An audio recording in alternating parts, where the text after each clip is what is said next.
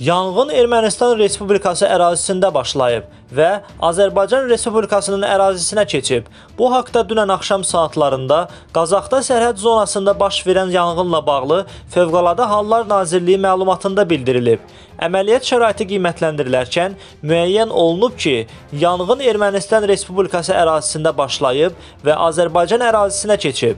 Yanğında mühafizə bölmələrinin çevik müdaxiləsi nəticəsində Qazax rayonunun Aslanbəyli və Qaymaqlı kəndləri ərazisinə keçən yanğınların geniş əraziyə yayılmasının qarşısı alınıb, yanğın səhər saatlarında söndürülüb. Təqribən 180 hektar sahədə quru ot və kolkos yanıb, məlumatda qeyd olunur.